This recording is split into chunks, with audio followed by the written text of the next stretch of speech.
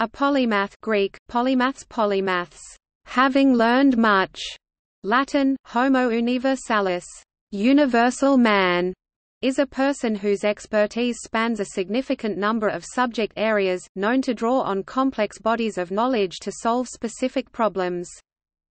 In Western Europe, the first work to use polymathy in its title De Polymathia Tractatio, Integri Operis de Studiis Veterum was published in 1603 by Johann von Wowern, a Hamburg philosopher. Wowern defined polymathy as knowledge of various matters, drawn from all kinds of studies, ranging freely through all the fields of the disciplines, as far as the human mind, with unwearied industry, is able to pursue them. Wowern lists erudition, literature, philology, philomathy and polyhistory as synonyms. The related term, polyhistor, is an ancient term with similar meaning. Polymaths include the great thinkers of the Renaissance and the Enlightenment who excelled at several fields in science, technology, engineering, mathematics, and the arts.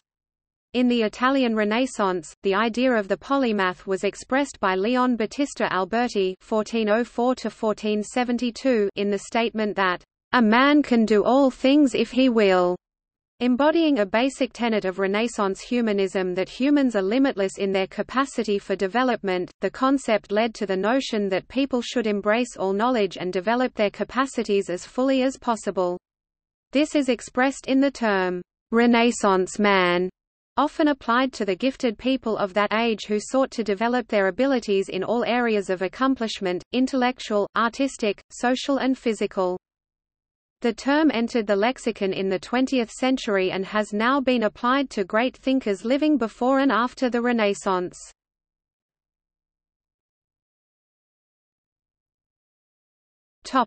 Renaissance ideal, the Renaissance man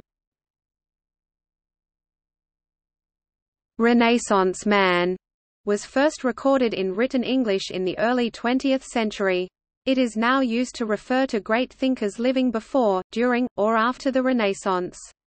Leonardo da Vinci has often been described as the archetype of the Renaissance man, a man of unquenchable curiosity and feverishly inventive imagination. Many notable polymaths lived during the Renaissance period, a cultural movement that spanned roughly the 14th through to the 17th century that began in Italy in the late Middle Ages and later spread to the rest of Europe. These polymaths had a rounded approach to education that reflected the ideals of the humanists of the time. A gentleman or courtier of that era was expected to speak several languages, play a musical instrument, write poetry and so on, thus fulfilling the Renaissance ideal. The idea of a universal education was essential to achieving polymath ability, hence the word university was used to describe a seat of learning. At this time, universities did not specialize in specific areas, but rather trained students in a broad array of science, philosophy and theology. This universal education gave them a grounding from which they could continue into apprenticeship toward becoming a master of a specific field. When someone is called a Renaissance man, Today, it is meant that rather than simply having broad interests or superficial knowledge in several fields, the individual possesses a more profound knowledge and a proficiency, or even an expertise, in at least some of those fields. Some dictionaries use the term Renaissance man to describe someone with many interests or talents, while others give a meaning restricted to the Renaissance and more closely related to Renaissance ideals.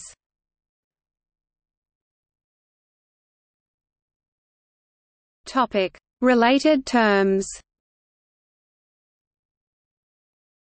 Aside from Renaissance man as mentioned above, similar terms in use are Homo universalis Latin and Uomo universal Italian, which translate to universal man.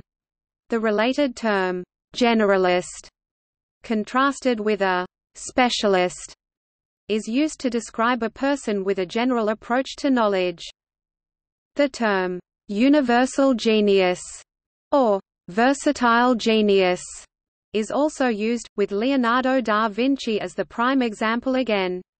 The term is used especially for people who made lasting contributions in at least one of the fields in which they were actively involved and when they took a universality of approach.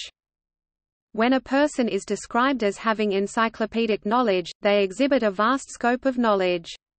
However, this designation may be anachronistic in the case of persons such as Eratosthenes whose reputation for having encyclopedic knowledge predates the existence of any encyclopedic object.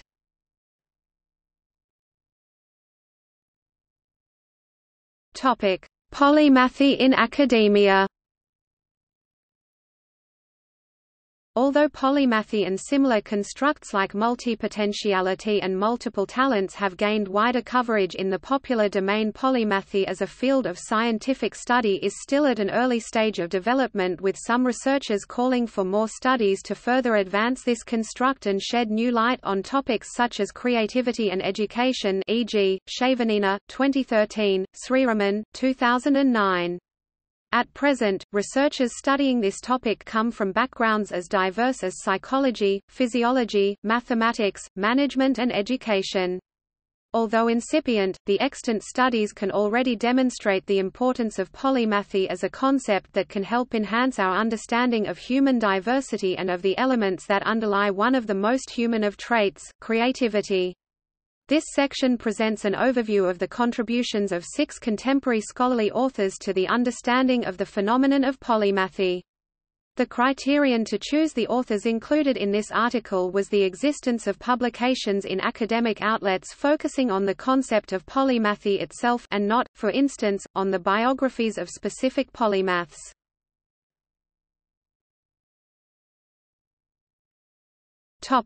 Robert Root Bernstein Robert Root Bernstein is considered the principal responsible for rekindling the interest on polymathy in the scientific community. He is a professor of physiology at Michigan State University and has been awarded the MacArthur Fellowship, known as a Genius Grant, a prize awarded to those who have shown extraordinary originality and dedication in their creative pursuits and a marked capacity for self-direction and are citizens or residents of the United States. Robert Root Bernstein emphasizes the contrast between the polymath and both the specialist and the dilettante.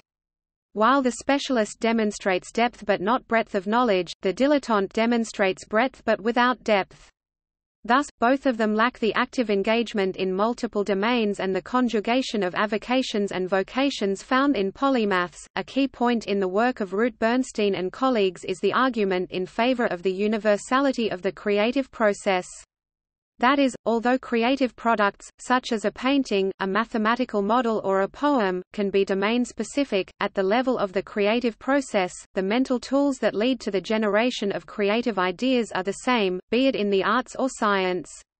These mental tools are sometimes called intuitive tools of thinking. It is therefore not surprising that many of the most innovative scientists have serious hobbies or interests in artistic activities, and that some of the most innovative artists have an interest or hobbies in the sciences. His research is an important counterpoint to the claim by some psychologists that creativity is domain specific. Through his research, Root Bernstein concludes that there are certain comprehensive thinking skills and tools that cross the barrier of different domains and can foster creative thinking. Creativity researchers who discuss integrating ideas from diverse fields as the basis of creative giftedness ask not who is creative, but what is the basis of creative thinking. From the polymathy perspective, giftedness is the ability to combine disparate or even apparently contradictory ideas, sets of problems, skills, talents, and knowledge in novel and useful ways. Polymathy is therefore the main source of any individual's creative potential. R. Root Bernstein 2009, p. 854. In Life Stages of Creativity, Robert and Michelle Root Bernstein suggest six typologies of creative life stages. These typologies based on real creative production records first published by Root Bernstein, Bernstein, and Garnier 1993.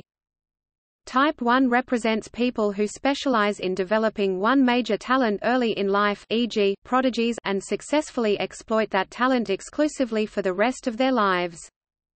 Type 2 individuals explore a range of different creative activities e.g., through worldplay or a variety of hobbies and then settle on exploiting one of these for the rest of their lives. Type 3 people are polymathic from the outset and manage to juggle multiple careers simultaneously so that their creativity pattern is constantly varied. Type 4 creators are recognized early for one major talent e.g., math or music but go on to explore additional creative outlets, diversifying their productivity with age. Type 5 creators devote themselves serially to one creative field after another. Type 6 people develop diversified creative skills early and then, like Type 5 individuals, explore these serially, one at a time.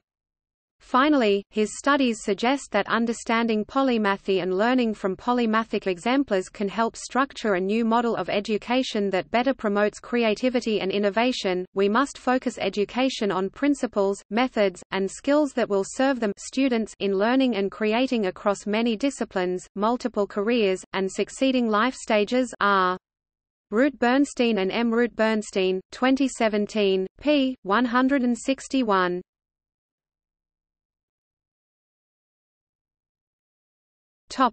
Peter Burke.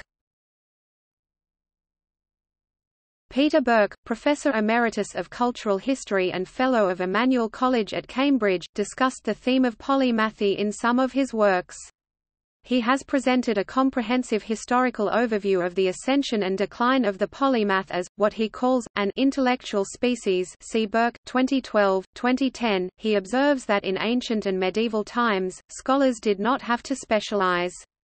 However, from the 17th century on, the rapid rise of new knowledge in the Western world both from the systematic investigation of the natural world and from the flow of information coming from other parts of the world was making it increasingly difficult for individual scholars to master as many disciplines as before. Thus, an intellectual retreat of the polymath species occurred, from knowledge in every academic field to knowledge in several fields, and from making original contributions in many fields to a more passive consumption of what has been contributed by others Burke, 2010, p. 72. Given this change in the intellectual climate, it has since then been more common to find passive polymaths, who consume knowledge in various domains but make their reputation in one single discipline, than proper polymaths, who, through a feat of intellectual heroism, manage to make serious contributions to several disciplines. However, Burke warns that in the age of specialization, polymathic people are more necessary than ever, both for synthesis—to paint the big picture, and for analysis.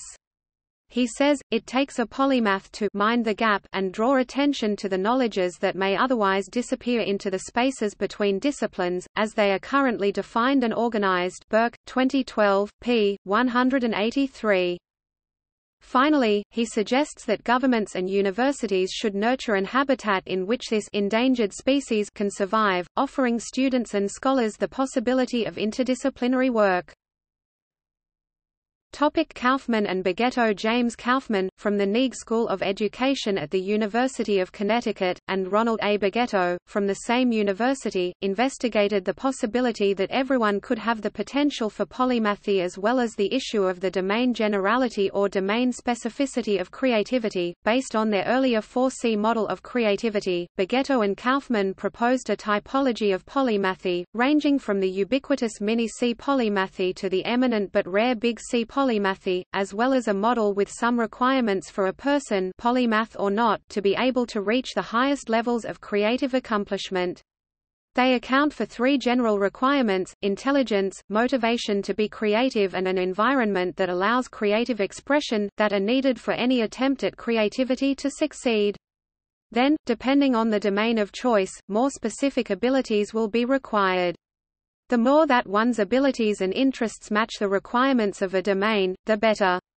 While some will develop their specific skills and motivations for specific domains, polymathic people will display intrinsic motivation and the ability to pursue a variety of subject matters across different domains. Regarding the interplay of polymathy and education, they suggest that rather than asking whether every student has multi-creative potential, educators might more actively nurture the multi-creative potential of their students. As an example, the authors cite that teachers should encourage students to make connections across disciplines use different forms of media to express their reasoning and understanding e.g., drawings, movies, and other forms of visual media.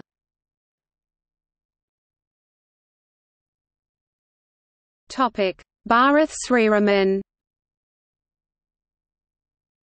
Bharath Sriraman, of the University of Montana, also investigated the role of polymathy in education.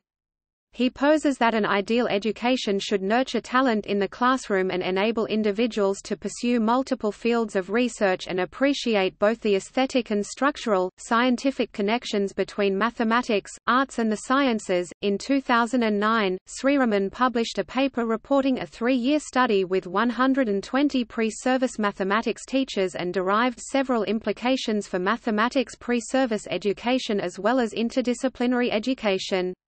He utilized a hermeneutic phenomenological approach to recreate the emotions, voices and struggles of students as they tried to unravel Russell's paradox presented in its linguistic form. They found that those more engaged in solve the paradox also displayed more polymathic thinking traits. He concludes by suggesting that fostering polymathy in the classroom may help students change beliefs, discover structures and open new avenues for interdisciplinary pedagogy.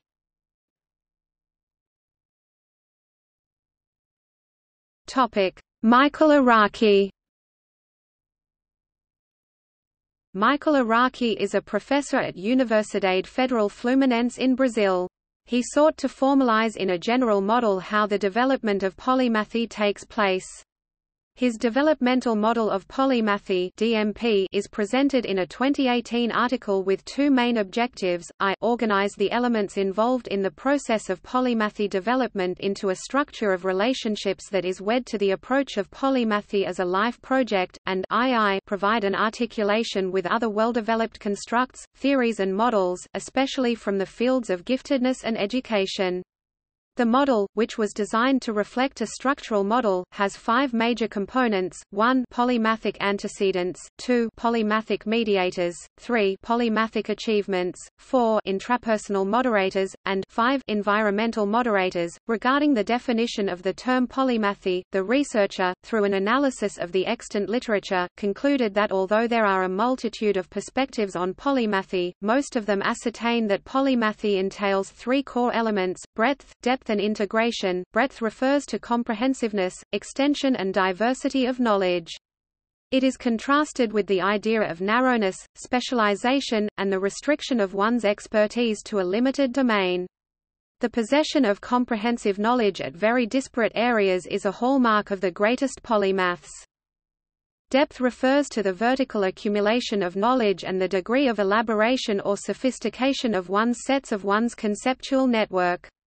Like Robert Root Bernstein, Araki uses the concept of dilettancy as a contrast to the idea of profound learning that polymathy entails. Integration, although not explicit in most definitions of polymathy, is also a core component of polymathy according to the author. Integration involves the capacity of connecting, articulating, concatenating or synthesizing different conceptual networks, which in non-polymathic persons might be segregated. In addition, integration can happen at the personality level, when the person is able to integrate his or her diverse activities in a synergic whole, which can also mean a psychic motivational, emotional and cognitive integration. Finally, the author also suggests that, via a psychoeconomic approach, polymathy can be seen as a life project. That is, depending on a person's temperament, endowments, personality, social situation and opportunities or lack thereof, the project of a polymathic self-formation may present itself to the person as more or less alluring and more or less feasible to be pursued.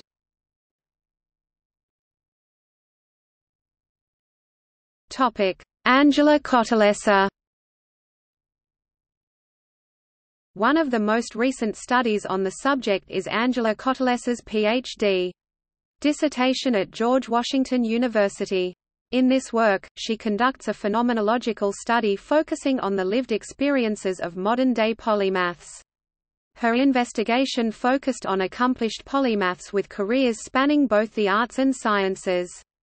The participants' narratives provided insights regarding how they became polymaths and what their experiences as polymaths have been like Cotellessa, 2018. Seven conclusions were drawn from her research. 1. To be a polymath, one must accept not fitting in the typical box and perhaps even embodying apparent contradictions. Polymathy is being intrapersonally diverse. 2. Polymaths are exposed broadly, think creatively and strategically, and juggle their many interests and obligations through effective time management. 3. Being a polymath can make life richer, but it can also be quite difficult. 4. Polymaths are excellent at being creative and solving problems creatively. 5. Polymathy develops due to a combination of nature and nurture, and polymathy is maintained in adulthood by a willingness to continue to work to improve oneself through self-directed learning. 6. Polymath identity is discovered from not fitting in. Polymath identity can be difficult to fully own and to explain to others. 7. Family and financial resources impact the emergency of polymathy.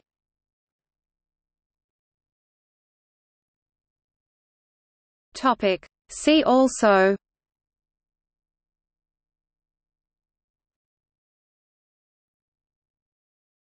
Topic. References and notes